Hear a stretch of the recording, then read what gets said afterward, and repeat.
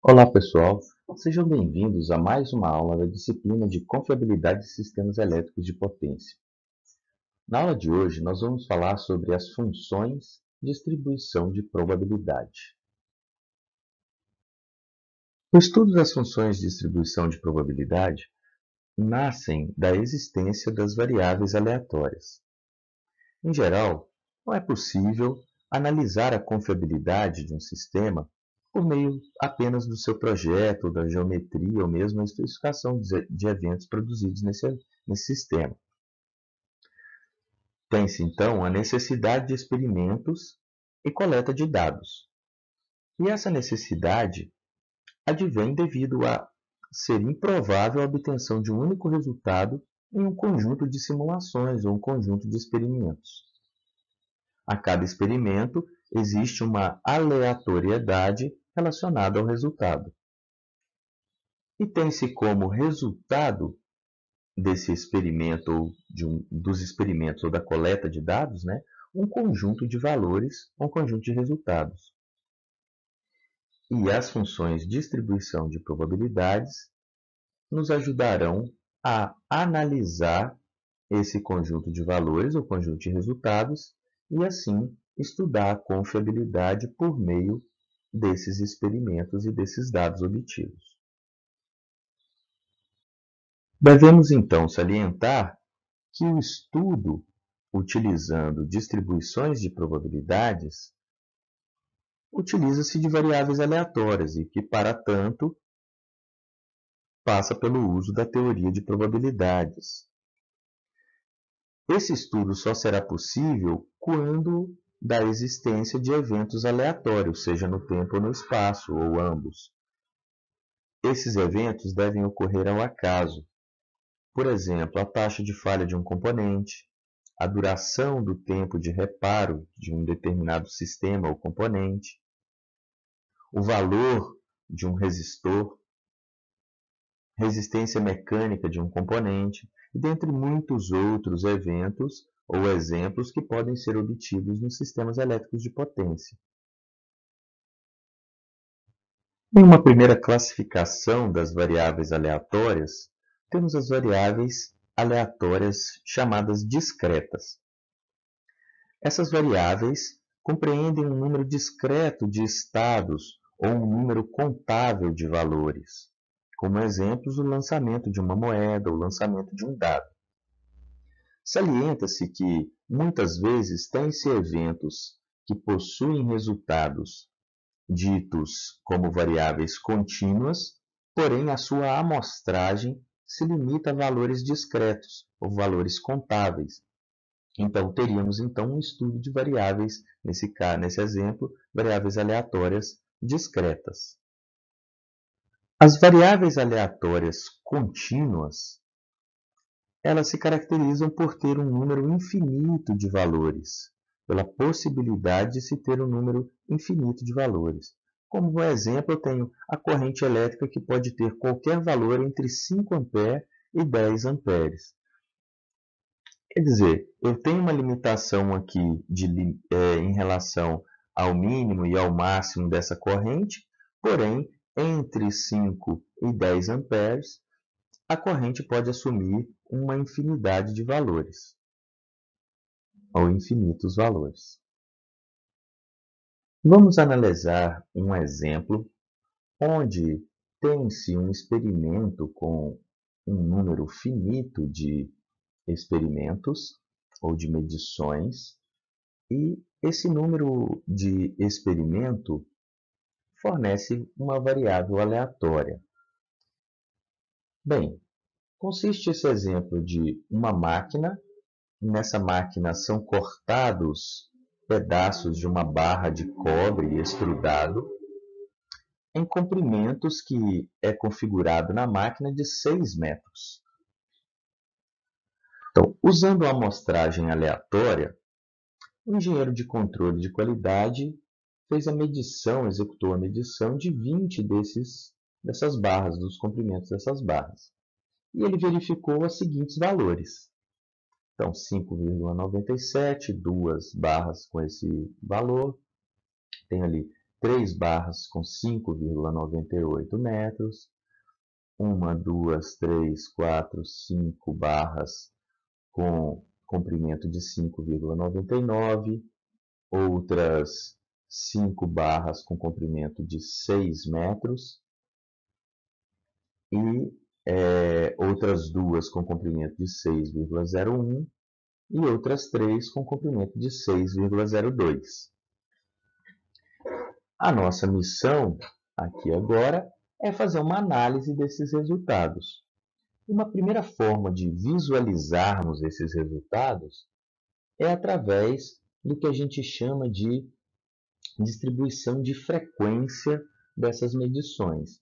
Então, o gráfico aqui apresentado, ele mostra aqui no eixo das ordenadas o número de vezes, é, o número, a frequência né, de ocorrência de um determinado resultado, e no eixo da, da, é, das abscissas aqui, o valor do comprimento medido lá das barras. Então, por exemplo, eu tenho duas barras com comprimento de 5,97, que é o que a gente viu ali. Ou três barras com comprimento de 5,98. Então, eu fico aqui com uma função que é uma função distribuição, a função densidade né, de frequência ou densidade de probabilidades. Na verdade, ela está aqui uma função de frequência ainda. Para ela se tornar uma função densidade de probabilidade, o que, que a gente vai fazer? Nós vamos considerar, por exemplo, essa frequência aqui, duas ocorrências do comprimento de 5,97, eu vou dividir pelo número total de medições, que é 20. Né?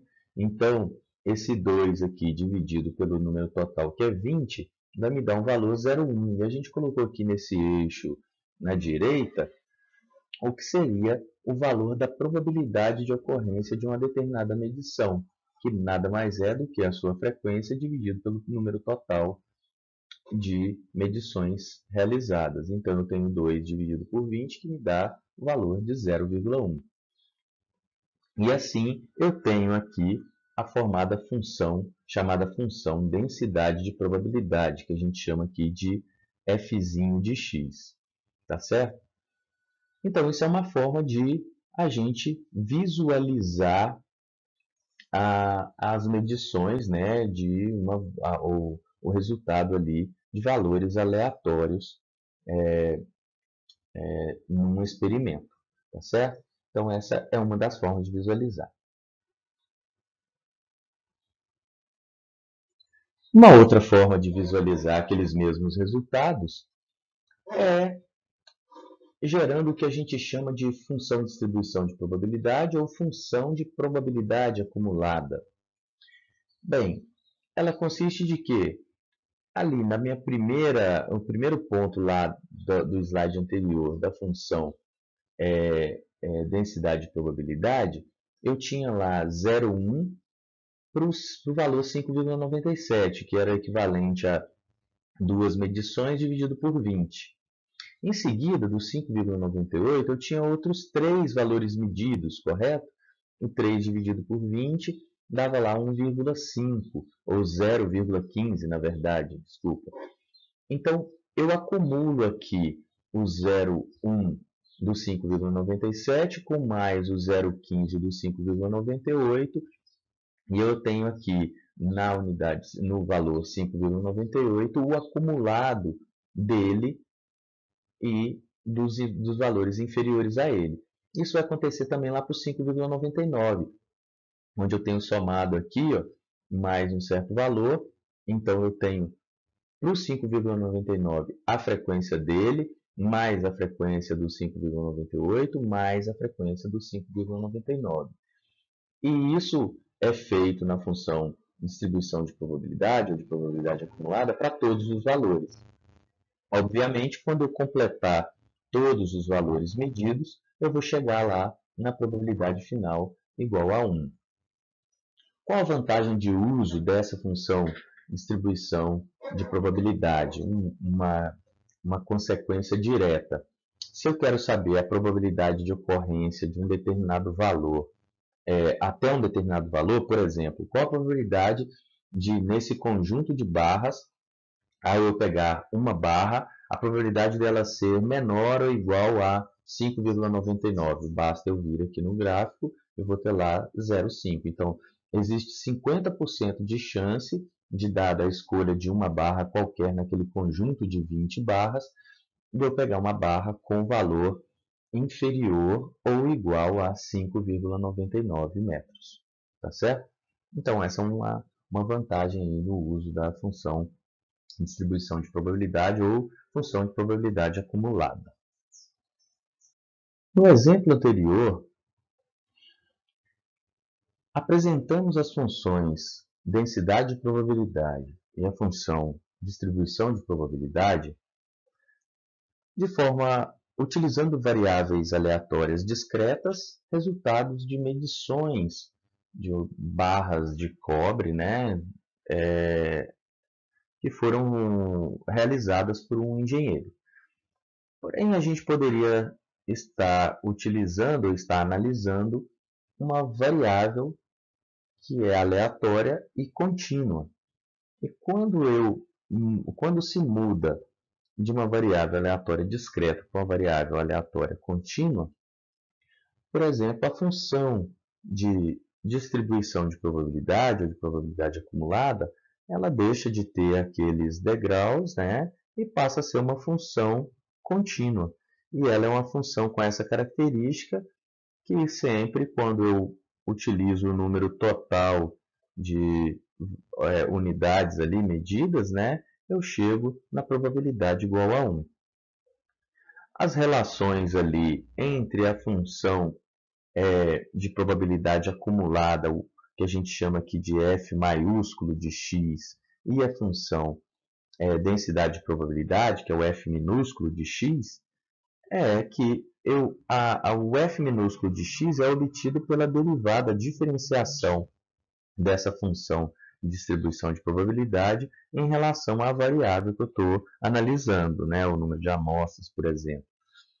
Ou eu posso obter a função distribuição de probabilidade, o f maiúsculo de x, até um certo valor, lá por exemplo, x1, através da integral de menos infinito até esse valor de x1 do f minúsculo de x dx. De forma similar, a função densidade e probabilidade, utilizando variável contínua, ela também vai ser uma, uma linha, uma curva né, é, suave aqui, sem aqueles degraus. E aqui está sendo plotado apenas como é, apresentado apenas é, é, como exemplo, né, uma função aqui que seria parecido com a função, com a função densidade probabilidade.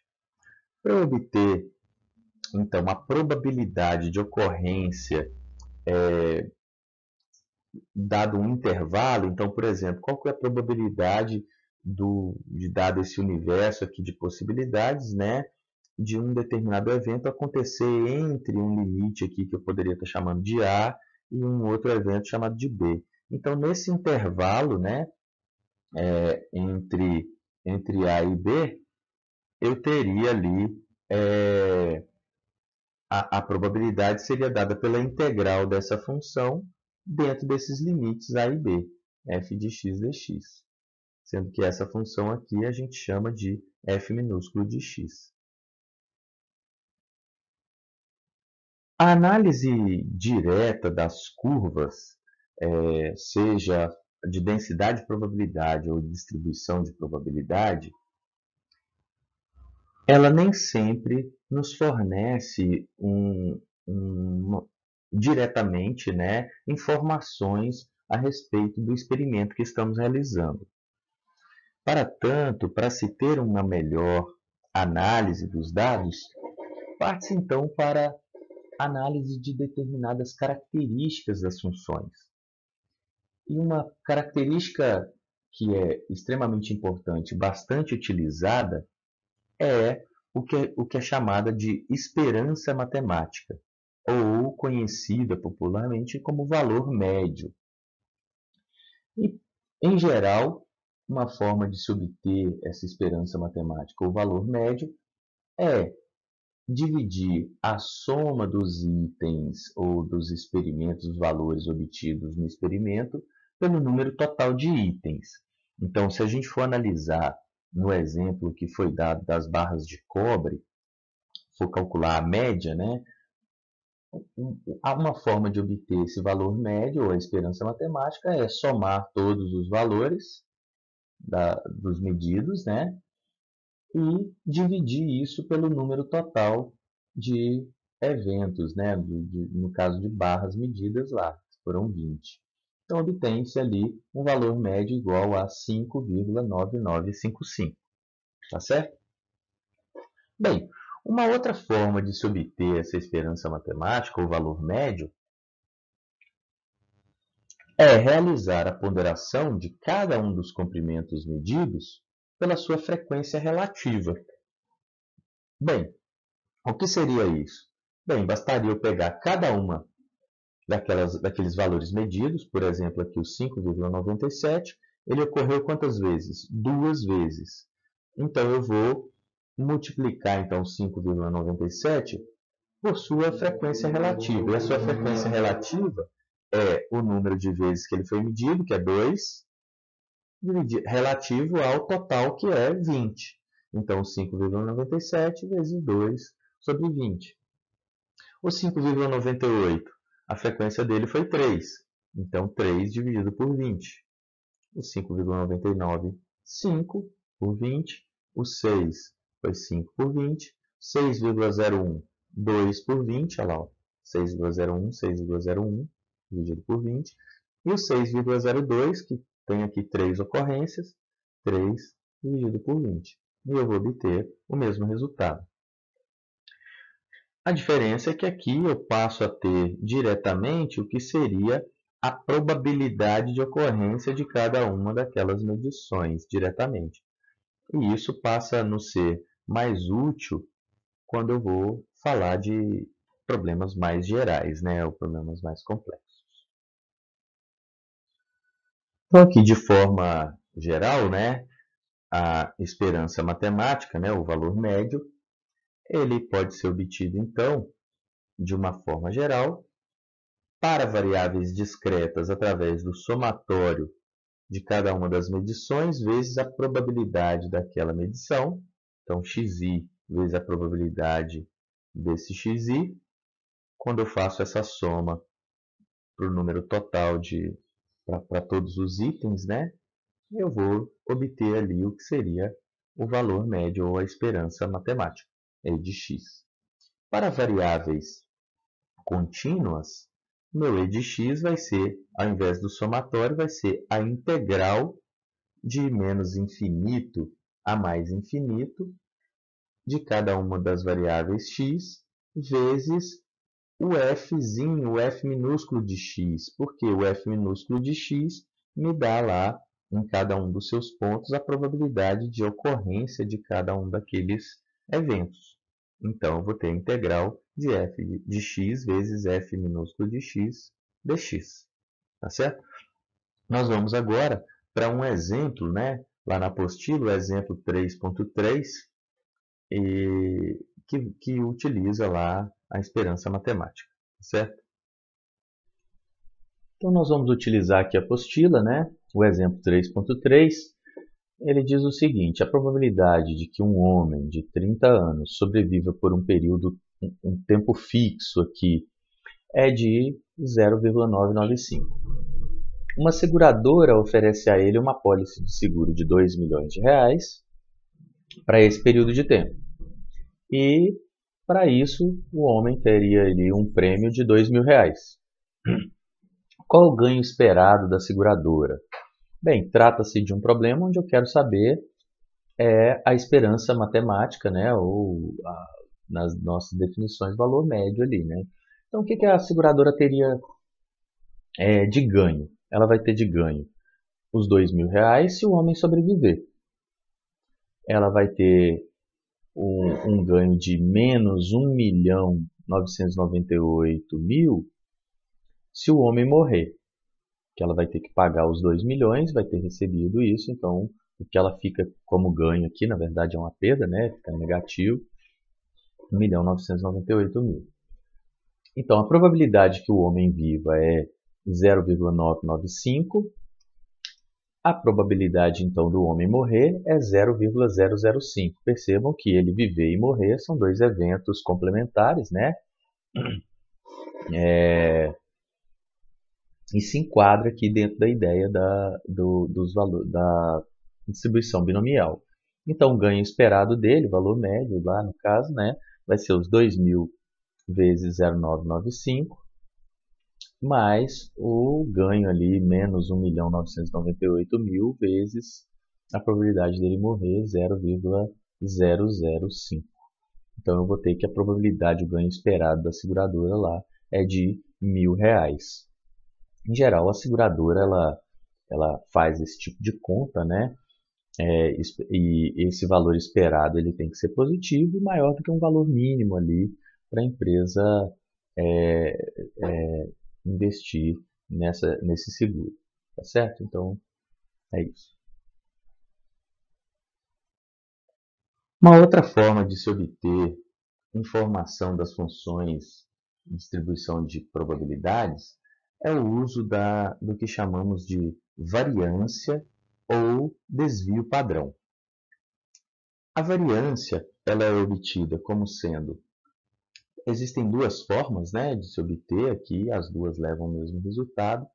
Uma delas é eu, para cada evento, ou para cada variável, ou cada ponto medido xi, eu subtraio desse xi o que seria o seu valor médio. Então, eu faço aquele evento menos a média elevado ao quadrado vezes a probabilidade de ocorrência daquele evento xi. Uma outra forma de visualizar a variância seria elevar ao quadrado cada, uma, cada um dos pontos, né, xi, vezes a sua probabilidade, e subtrair do valor médio ao quadrado. Então, eu faço o somatório aqui de todos os xis ao quadrado vezes a sua probabilidade e subtraio disso o quadrado da média. Então, essas são duas formas de obter a variância.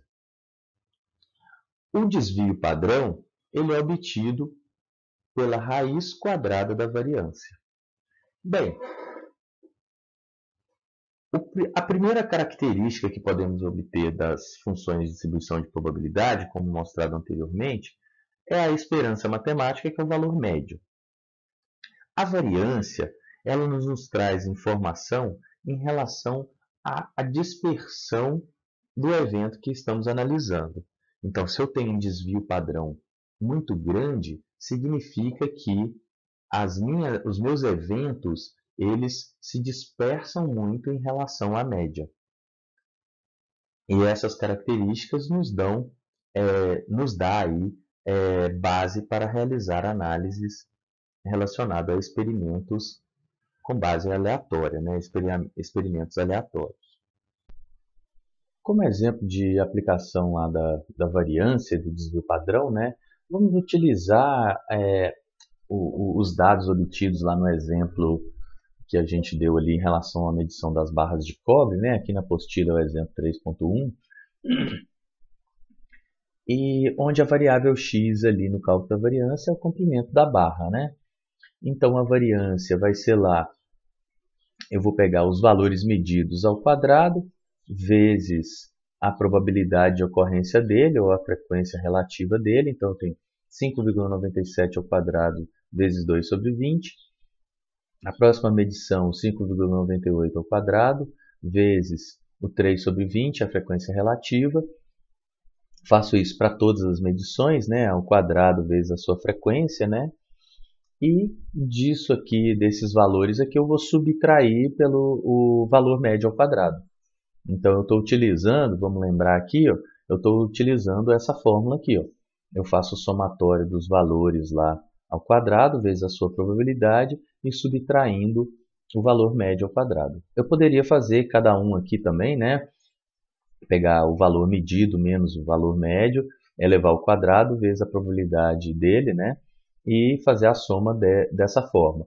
Aqui estamos usando a segunda fórmula ali, subtrai o valor médio ao quadrado, obtenho aqui uma variância de 2,248 vezes 10 a menos 4. Então é um valor bem pequeno. E o desvio padrão é a raiz quadrada disso, vai me dar ali 1,499 vezes 10 a menos 2 metros. Então eu tenho esse valor aqui de desvio padrão. Na análise da confiabilidade, utilizando-se eventos aleatórios, experimentos aleatórios, muitas das vezes é, nós precisamos fazer a análise, realizar a análise dos dados como foram medidos. E existem já pré-definidas muitas funções de distribuição de probabilidade. Como exemplo que vamos apresentar aqui, a função de distribuição binomial. Essa função de distribuição ela está associada a problemas combinatórios. Então, quando eu tenho um problema, umas variáveis aleatórias que ela tem a característica combinatória, em geral, eu tenho associado, eu tenho a possibilidade de utilização da função de distribuição binomial. Então, um exemplo aqui seria o lançamento de uma moeda. Quando é realizado o lançamento de uma moeda, eu tenho, por exemplo, em apenas um lançamento, eu tenho como resultado ali o que seria cara ou coroa, aqui no inglês head and tail. Então, a probabilidade de ocorrer cara né, seria 50% ou meio, e a probabilidade de ocorrer coroa também meio ou 50% essa, essa, esse lançamento de uma moeda, né, que pode acontecer esse ou esse, né, a soma dessas duas probabilidades me dá a probabilidade total, que é 100% ou 1. Eu posso também reescrever é, é, esse lançamento, né, estruturar o lançamento de uma única vez dessa moeda como sendo aqui o P mais o T elevado a 1. Tá certo? As possibilidades aqui, meio para cada um. Se eu lançar essa mesma moeda duas vezes, eu vou ter as seguintes possibilidades aqui. Eu tenho uma possibilidade no primeiro lançamento sair cara, no segundo lançamento também sair cara. Então eu tenho, isso aqui pode acontecer. Ou pode acontecer de inicialmente sair cara e logo em seguida sair coroa, ou pode acontecer de inicialmente sair coroa e logo depois cara. Então eu tenho duas vezes essa possibilidade de sair cara em uma vez e coroa em outra vez. Não importando aqui se a primeira foi cara, a segunda coroa ou o inverso. E também eu tenho a possibilidade de ocorrer no primeiro lançamento coroa e no segundo lançamento também acontecer coroa. Tá certo? Bem, eu posso então reestruturar essa, essa equação por é, a probabilidade de sair cara ao quadrado, mais duas vezes probabilidade de sair cara vezes a probabilidade de sair coroa, mais a probabilidade ao quadrado de sair coroa. O que também pode ser reestruturado agora de uma forma que a gente chama lá, né, binomial, é probabilidade de sair cara mais probabilidade de sair coroa ao quadrado. Ó, percebam que aqui foi o lançamento de uma, a moeda uma única vez aqui duas vezes. Então, por fim, para o lançamento dessa moeda três vezes, né, eu tenho aqui todas as possibilidades de ocorrências, né, por exemplo, três vezes nos três lançamentos sair cara, ou eu ter ali três vezes a possibilidade de sair cara duas vezes e uma vez coroa, ou três vezes a possibilidade de sair uma vez cara e duas vezes coroa, ou a probabilidade ali também, a possibilidade de ocorrer nas, nos três lançamentos é, coroa. E isso também pode ser escrito como P, é, probabilidade H mais probabilidade de T, ou de cara e de coroa, elevado ao cubo, que está relacionado ali a três vezes. Bem, essa aqui é uma forma geral de representação da função de distribuição binomial. Ela está relacionada a apenas duas possibilidades de de resultado, né? no caso aqui da moeda, ou cara ou coroa, e a gente pode chegar na conclusão seguinte, olha, a distribuição binomial, ela representa aqui todos os possíveis resultados, né? E a sua probabilidade de ocorrência. Eu tenho associado aqui as probabilidades de ocorrência de cada uma dessas possibilidades em um experimento ou um evento. E eu posso representar é, esse experimento pela expressão binomial P mais Q, ou eu tenho aqui a probabilidade de ocorrência de um mais a probabilidade de ocorrência de outra, é, é, e eu tenho sempre essas duas possibilidades. Uma forma geral de representação da função distribuição binomial é através do p mais q elevado a n, onde n está relacionado ao número de tentativas e o P mais Q as possibilidades de ocorrência em um determinado evento. A expansão dessa relação, né, dessa representação da função distribuição binomial,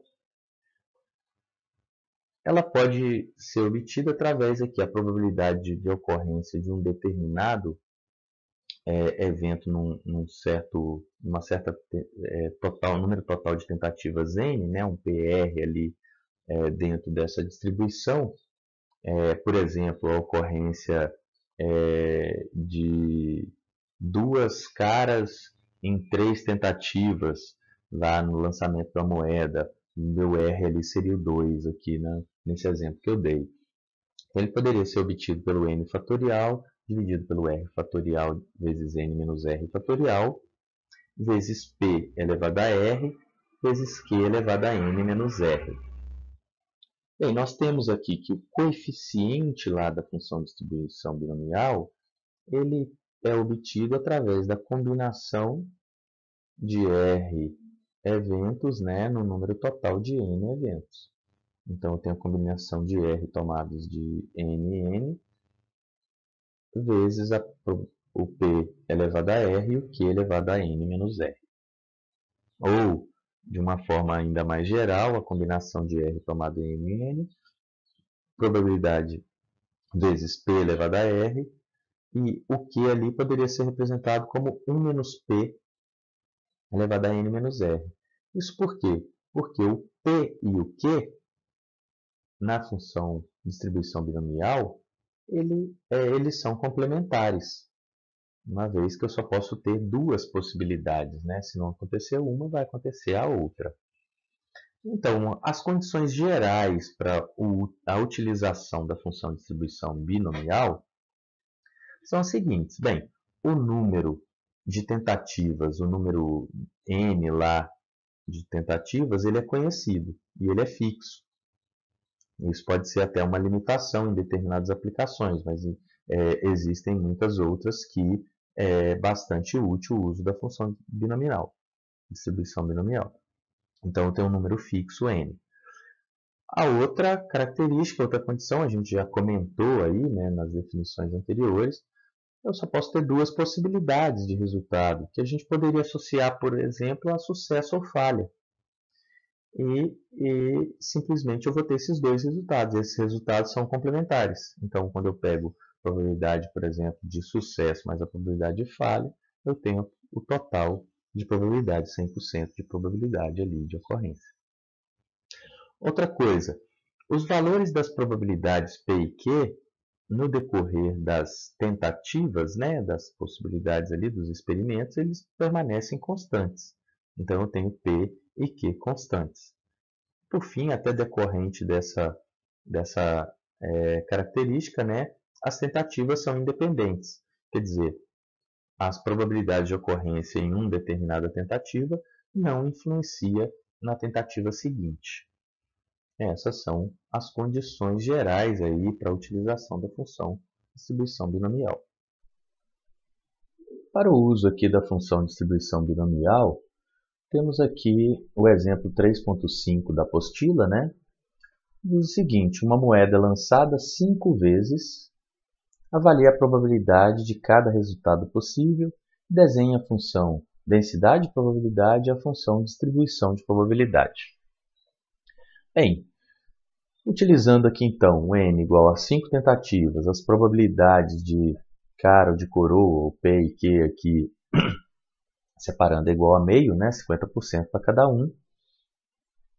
Montamos então a tabela, aqui a tabela 3.1, que temos aqui os resultados, então, para cada uma das, das possibilidades. Então, por exemplo, a probabilidade de, de ocorrência de 0 caras e 5 coroas vai ser a combinação de 0 tomado de 5 em 5, meio elevado a zero mais meio elevado a quinta. Então, a probabilidade individual ali de ocorrer, por exemplo, 0 caras é 1,32 avos. A probabilidade acumulada ali de zero é 1,32, seria o primeiro ponto. Né? Probabilidade de ocorrer uma cara. Para a ocorrência de uma cara, eu teria a ocorrência de quatro coroas. Né? Então, é, a probabilidade então seria a combinação de 1 tomados de 5 em 5, né? meio elevado a 1 mais meio elevado a 1 quarto, que daria aqui 5,32 avos. Nesse caso, a probabilidade acumulada agora vai ser o 5,32 avos, mais o anterior, a probabilidade acumulada anterior, que é 1,32 avos, que vai me dar 6,32 avos. Probabilidade de ocorrência de duas caras, e aí, consequentemente, três coroas, seria a combinação de 2 tomadas de 5 em 5, vai dar meio elevado ao quadrado mais é, vezes meio elevado ao cubo, que vai dar 10 32 avos. E aí a probabilidade acumulada vai ser esse 10 32 avos mais o anterior ali acumulado, 6 32 avos, vai dar 16 32 avos. E assim eu monto toda a tabela para 3 caras, 2 coroas, combinação 3 de 5 em 5, meio elevado ao, a, ao cubo, mais vezes meio elevado ao quadrado, também dá 10 32 avos, acumulado 26. Agora o 10 aqui mais o 16, 26 32 avos. Quatro caras, uma coroa, combinação de 4 tomadas de 5 em 5, meio elevado a quarta, vezes meio elevado a 1. O que vai me dar 5 32 avos. E a probabilidade acumulada, o 26 mais esse 5, dá 31, 32 avos.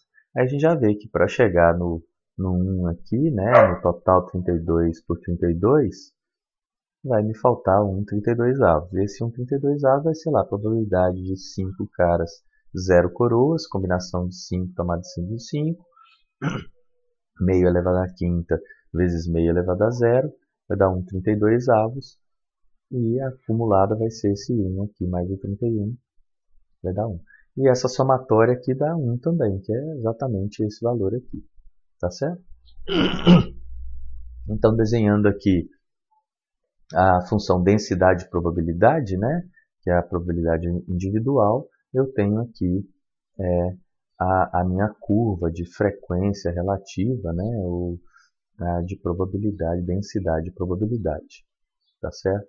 E, de forma similar, a curva de probabilidade acumulada para esse exemplo. Tá certo?